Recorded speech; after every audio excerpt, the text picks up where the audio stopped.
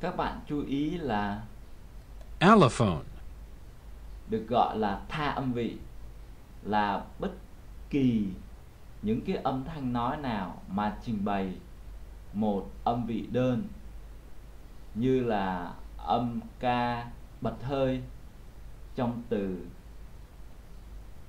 kit, và âm ca không bật hơi trong từ skit, là những tha âm vị của âm vị k.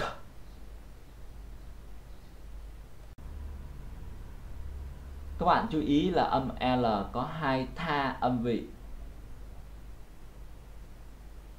Âm L vòm mềm, Wheeler, L hay còn gọi là Dark L, tức là âm L tối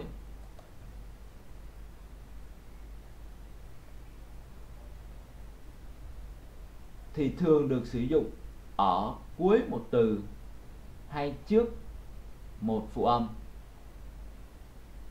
Và tham vị thứ hai của âm L là light L, tức là L sáng, thì thường được sử dụng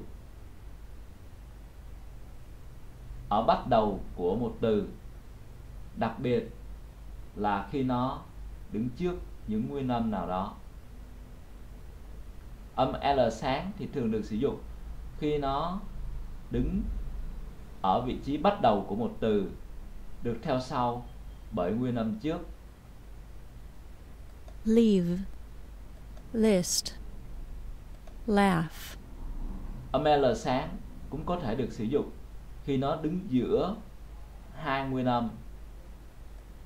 Feeling, alien, valid, âm L sáng cũng có thể được sử dụng khi nó đứng bắt đầu của một từ và được theo sau bởi nguyên âm sau.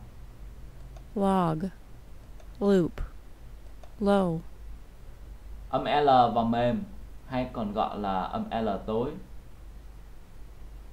thường được sử dụng khi nó được theo sau bởi phụ âm fault, milk, help, âm L tối cũng có thể được sử dụng khi nó đứng cuối từ. Whole, pull, tall, À, giả sử đây là cái à, bàn tay của mình và cái bàn tay này tượng trưng cho cái lưỡi của mình thì đây là bề mặt trên của lưỡi đây là bề mặt dưới của lưỡi à, đây là phần à, đầu lưỡi phần lưỡi của lưỡi phần đằng trước lưỡi phần đằng giữa lưỡi và phần đằng sau lưỡi ở đây. Và đây giả sử đây là cái vòng miệng trên của mình thì đây là răng trên và ngay sau răng trên nó là lằn lợi.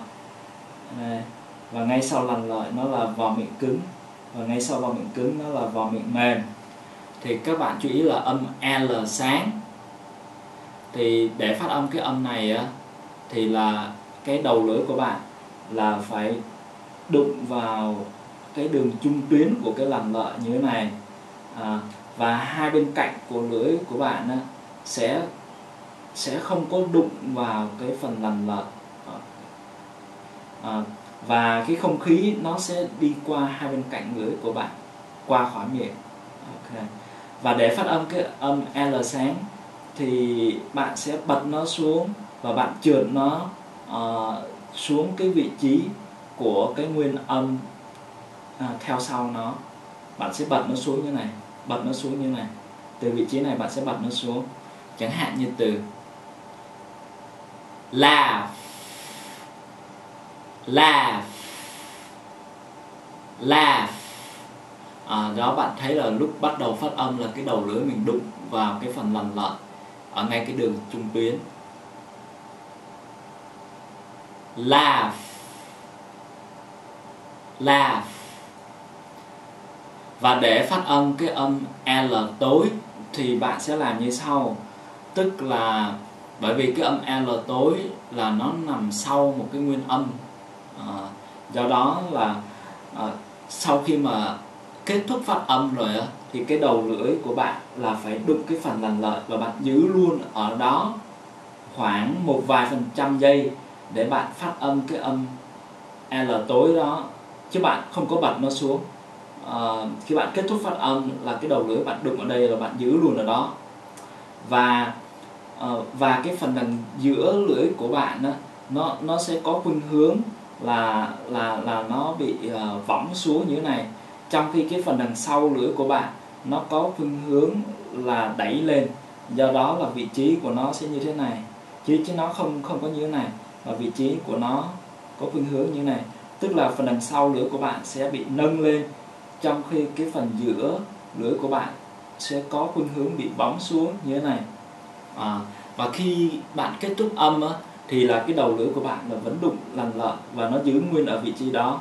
À, và bạn giữ ở vị trí đó khoảng một vài phần trăm của giây và bạn phát âm cái âm L à, chứ bạn đừng có bật nó xuống uh, quá nhanh.